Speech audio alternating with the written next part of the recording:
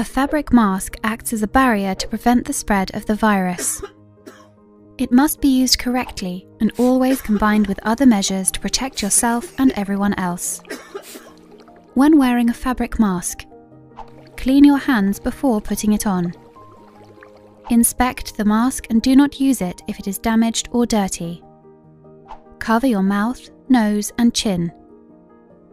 Adjust the mask to your face, leaving no gaps on the sides. Avoid touching the mask while wearing it. Change your mask once it gets dirty or wet. To take off the mask, clean your hands first. Remove it by the straps behind the head or ears without touching the front of the mask.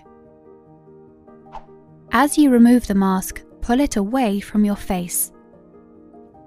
Clean your hands after taking off any mask. If you need to reuse a fabric mask, store it in a clean, resealable bag.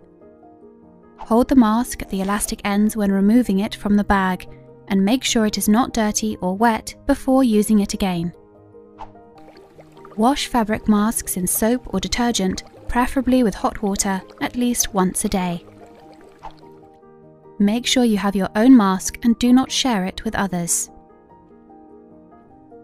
When wearing a mask, make sure you know how to put it on, use it, remove it, and discard it or wash it correctly. Remember that a mask alone cannot protect you. When wearing a mask, continue to adopt other measures to prevent the spread of the virus.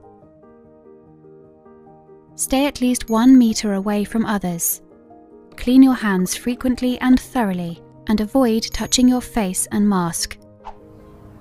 Stay safe, and let's all prevent the spread of COVID 19.